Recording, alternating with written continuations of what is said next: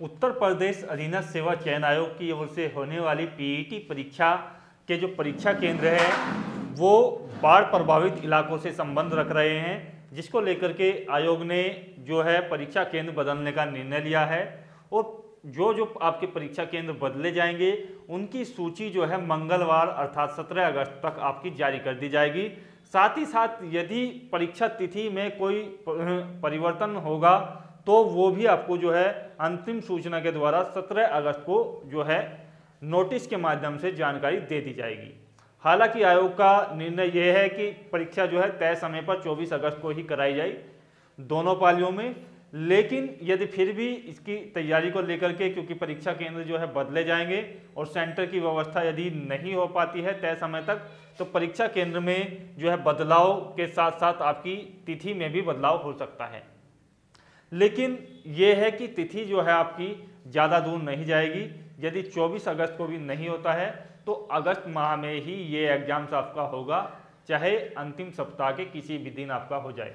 तो अच्छी तैयारी रखेगा मज़बूत तैयारी रखेगा और यहाँ पर जो है आयोग ने निर्देश भी दिया है कि जो भी आपकी यहाँ पर भर्ती पूरी होगी, वो दिसंबर तक कर ली जाएगी, जिसमें लेखपाल की भर्ती जो है प्रमुख है। ओलिव बोर्ड की ओर से जो है आप लोगों के लिए फ्री पीईटी के लिए मॉक टेस्ट आपको प्रोवाइड किया जा रहा है। डिस्क्रिप्शन बॉक्स में लिंक मिल जाएगा।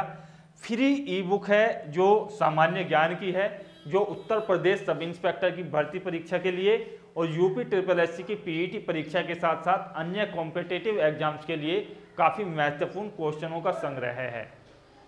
और यहाँ से आप जो है डिस्क्रिप्शन बॉक्स और कमेंट बॉक्स से लिंक पर जाकर के आसानी से इन टेस्ट को कवर कर सकते हैं, क्योंकि बहुत ज़्यादा फ़ायदेमंद आप लोगों के लिए अंतिम दिनों में प्रैक्टिस करना होता है।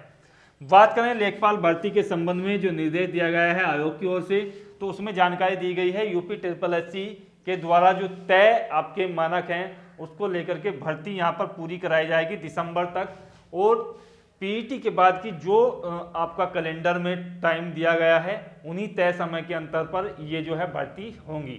तो आयोग ने सख्त निर्देश दिया है और पिछली लंबित भर्तियों को भी जल्द ही परिणाम यहाँ पर जारी किया जाएगा और साथ ही साथ वीडियो 2018 की जो भर्ती है, वो भी आपकी तय समय पर होगी। इसके लिए जो है आयोग ने फरवरी 2022 का यहाँ पर आप लोगों के लिए टाइम दिया है। तो दोस्तों, आशा करता हूँ वीडियो के माध्यम से कुछ महत्वपूर्ण जानकारी आपको मिली होगी। यदि चैनल अच्छा लगता है तो सब्सक्राइब कर लें, क्योंकि ऐसे वीडियो हम आप लोगों के लिए लाते रहते हैं। अगले वीडियो में मिलेंगे। जय हिंद, धन्यवाद, जय भारत।